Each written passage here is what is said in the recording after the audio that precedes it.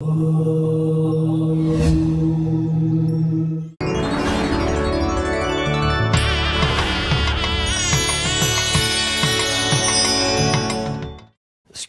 TV நேயர்களுக்கு நமஸ்காரம். இந்த இனிய காலை பொழுதிலே உங்கள் அனைவரையும் சுபதினம் நிகழ்ச்சியில் சந்திப்பதில் மிக்க மகிழ்ச்சி. இன்று பத்து ஒன்று இரண்டாயிரத்தி இருபத்தி மூன்று இந்த நாள் எப்படிங்கிறத பார்க்கலாம். வாங்கோ.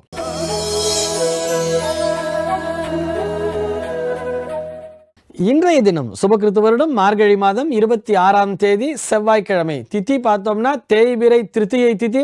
பகல் பதினோரு மணி பன்னெண்டு நிமிஷம் வரைக்கும் இருக்கு. அதனை தொடர்ந்து தேய்பிரை சதுர்த்தி திதி என்பது வந்து விடுகிறது.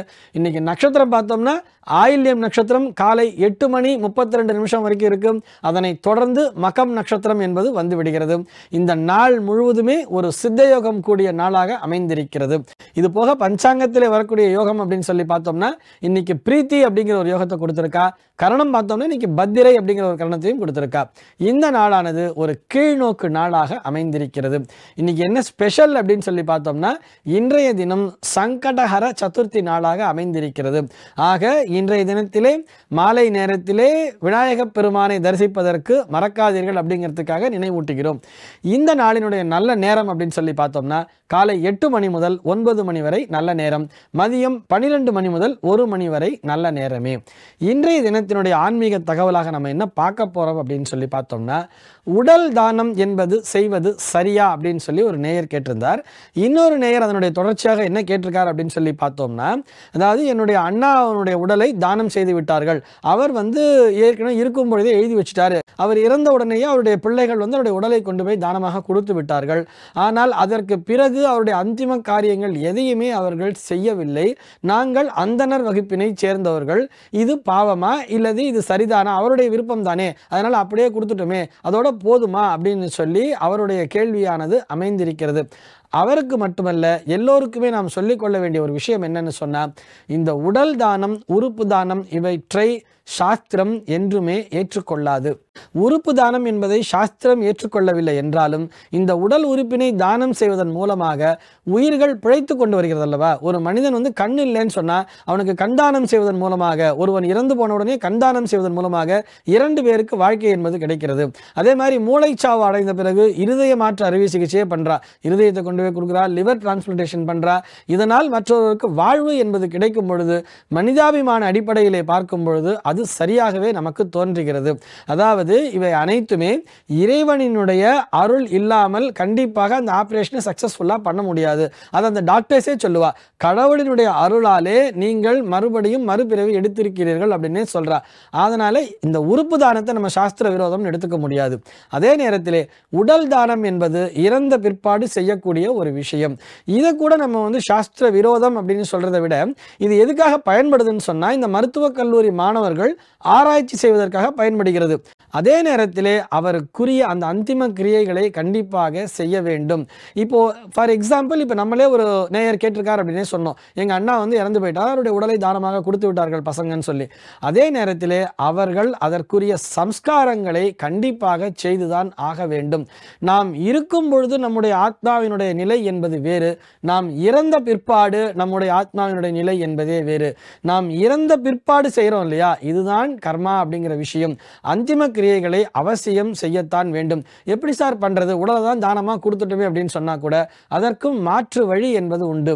தர்பை சம்ஸ்காரம் என்று சொல்வார்கள். இந்த தர்பையை வந்து ஒரு கூச்சம் மாதிரி கட்டி அதிலே வந்து இறந்து போனவரினுடைய அந்த பெயர் கோத்திரம் எல்லாம் சொல்லி அதில் ஆவாகனத்தை செய்வார்கள்.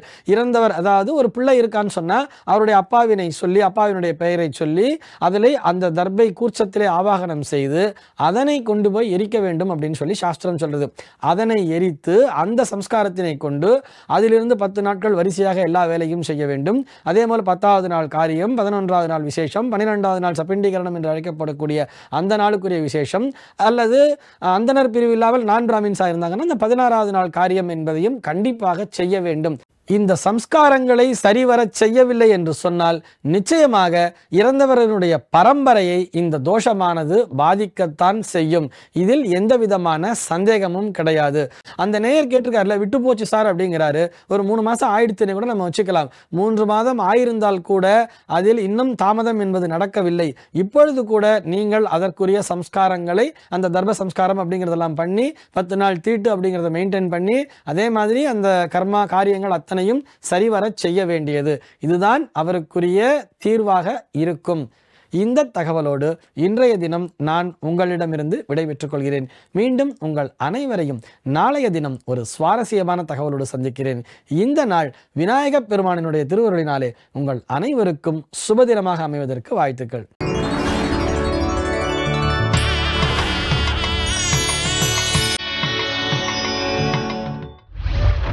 ஸ்ரீ சங்கரா டிவி ஏற்பாடு செய்யும் கிரகச்சாரம் மக்கள் சந்திப்பு சனி பகவானின் தாக்கம் மற்றும் சனி பெயர்ச்சி குறித்த உங்கள் சந்தேகங்களுக்கு விடையளிக்கிறார் திருக்கோவிலூர் ஹரிபிரசாத் சர்மா அவர்கள்.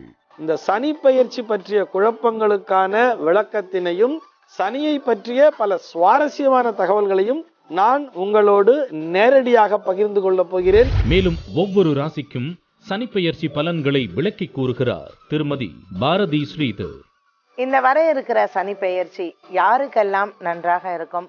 யாரெல்லாம் பரிகாரங்கள் செய்து கொள்ள வேண்டும்? எந்த ராசியினருக்கு அதிர்ஷ்டத்தை தரும்? இந்த நிகழ்ச்சியில நீங்கள் உங்களுடைய சந்தேகங்களையும் தெளிவுபடுத்திக் கொள்ளலாம். உங்கள் அபிமான ஜோதிடர்கள் உங்களை சந்திக்க நேரில் வருகிறார்கள். கிரகச்சாரம் மக்கள் சந்திப்பு. ஜனவரி பதினான்கு போகி அன்று காலை பத்து மணிக்கு இடம்.